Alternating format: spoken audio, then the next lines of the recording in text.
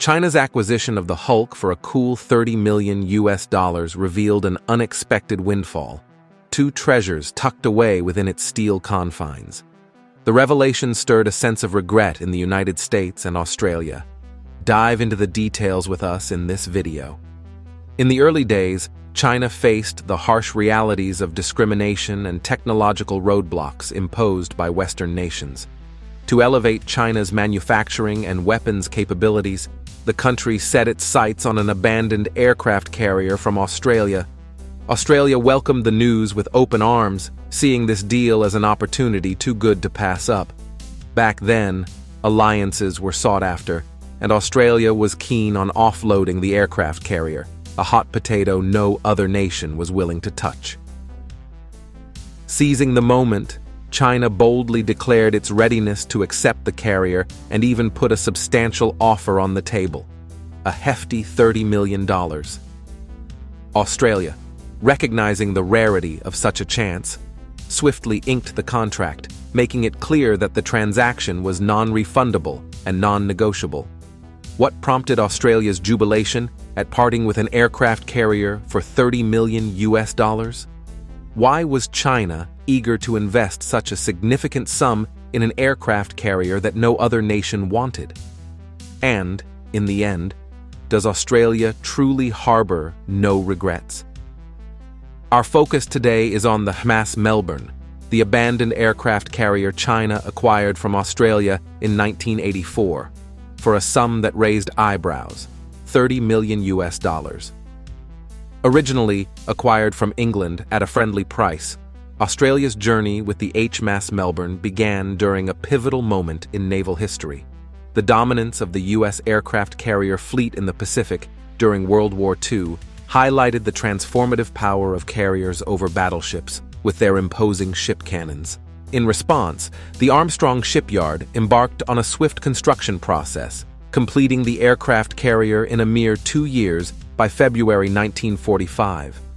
Unfortunately, the urgent production did not align with the timeline of World War II, rendering the carrier surplus to immediate wartime needs. Seizing an economic opportunity during a downturn, post-war Britain found itself with an idle aircraft carrier.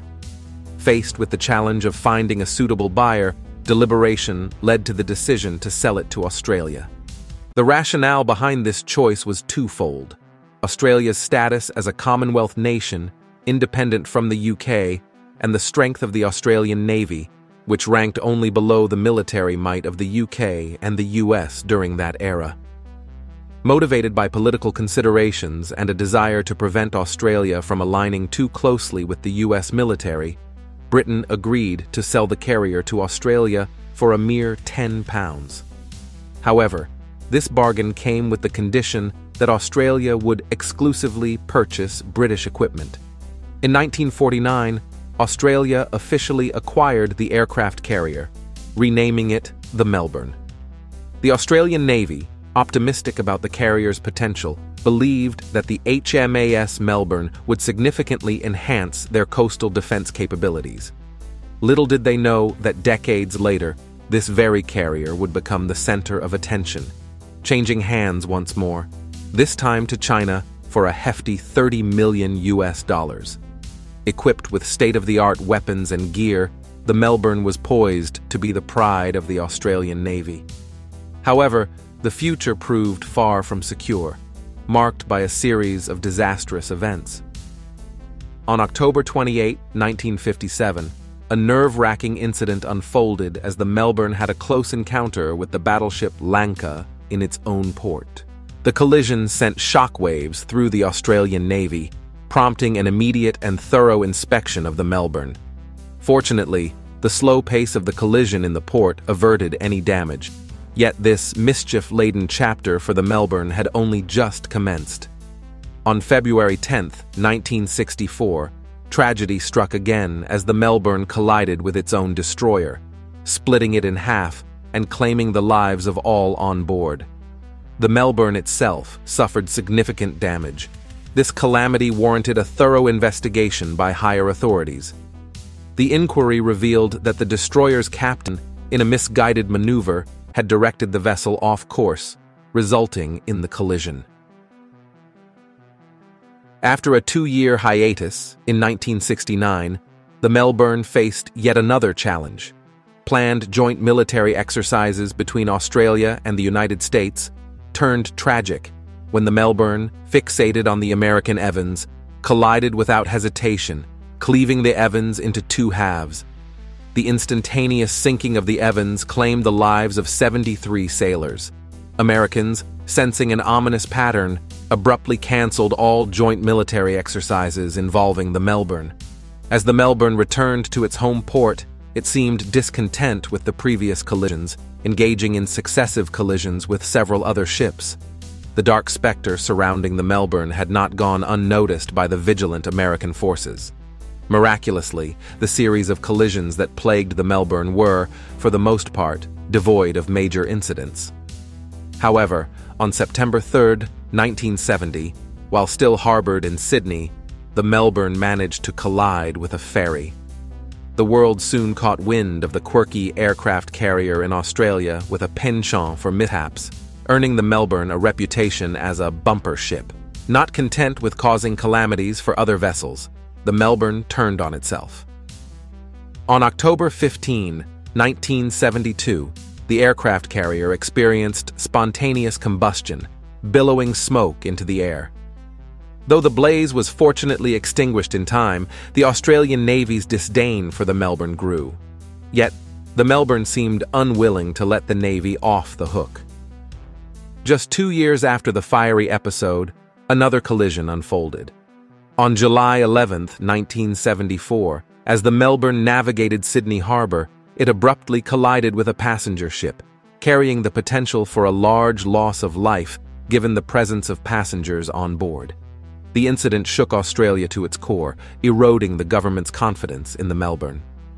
Comparing the Melbourne's track record to other aircraft carriers worldwide, it became clear that its mishaps far exceeded the norm. From its arrival in Australia in 1956 until 1979, the Melbourne failed to fulfill its duties causing considerable trouble and turning Australia into the subject of global mockery. After enduring these trials, the Australian military, in 1982, officially announced the retirement of the Melbourne, bringing an end to its legendary service career. Despite the aircraft carrier's notorious reputation, the Australian government, hoping to recoup some funds, decided to put the Melbourne up for sale. Naturally, in light of its tumultuous history, potential buyers were scarce. Nevertheless, China surprisingly emerged as an interested party, showcasing a strong desire to acquire the Melbourne. Following the news release, the Australian military stripped the aircraft carrier of all its weapons and equipment. Despite the Melbourne's less than illustrious legacy, China, against the odds, saw value in this notorious vessel. China's decision to acquire the Melbourne was anything but capricious. It was a calculated move that left not only Western nations but also many within the country bewildered. Despite lacking equipment, the Melbourne, purchased for a hefty $30 million, presented China with a unique opportunity to understand the intricacies of aircraft carrier structure and design. Upon the Melbourne's arrival in China, swift dismantling commenced. To everyone's surprise, the aircraft carrier still housed the invaluable steam catapult and arresting cable equipment.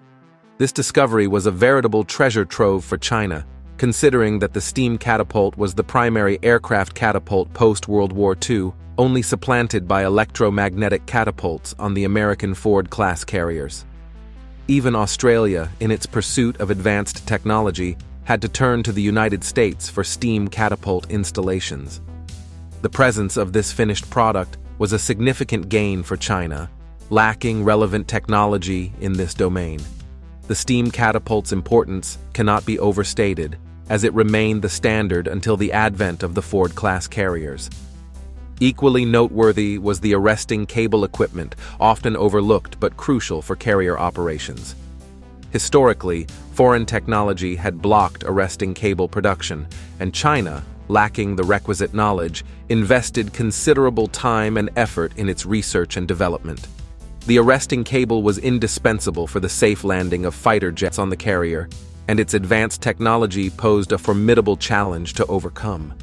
The unexpected discovery of these two invaluable devices marked a substantial and unexpected leap forward for China in carrier technology, presenting a serendipitous windfall from the acquisition of the Melbourne. It was only at this juncture that the United States realized Australia, perhaps in a hasty oversight, had left behind these crucial components. This misstep became apparent when China, in its later acquisition of the Varyag from Ukraine, prompted the United States to insist that Ukraine remove all equipment before selling it. The Melbourne's value to China extended beyond the steam catapult and arresting cable equipment. It became a valuable educational tool for Chinese engineers, offering an in-depth understanding of aircraft carrier construction.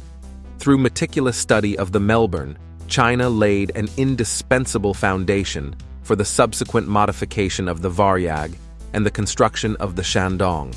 Reflecting on the $30 million spent, one can argue that the Melbourne's contribution to China far exceeded its monetary value. The acquisition not only provided critical technological assets, but also empowered Chinese engineers with the knowledge essential for advancing their own aircraft carrier projects. Thank you for watching. If you found this content engaging, don't forget to like, comment, and subscribe to our channel for more insightful content. Until next